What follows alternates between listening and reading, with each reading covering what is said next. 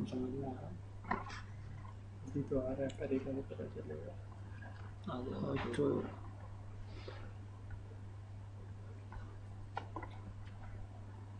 first s- scan the USB disk and there is found one not one virus first remove it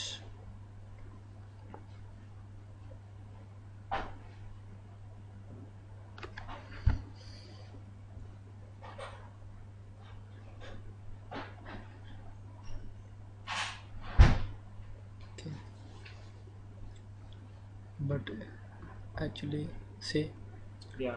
uh, is 3 GB the, the disk contain file but we cannot see anything. Yeah. But there is file but uh, it's due to virus all file made Hidden. hidden. If you want to know file just click click here and put star symbol star symbol then you can see all files here. Hmm. hidden files total. All hidden files you can see. Hmm. actually this virus uh, hi- uh, hiding your folder folders only not files. If you want to uh, see that folder? but if you want to see, see the folder go to cmd open command prompt. And first you you check which drive letter.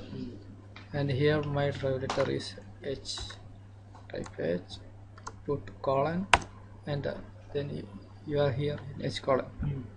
then type r type space minus r space minus a space minus s space minus h space backslash s space backslash d enter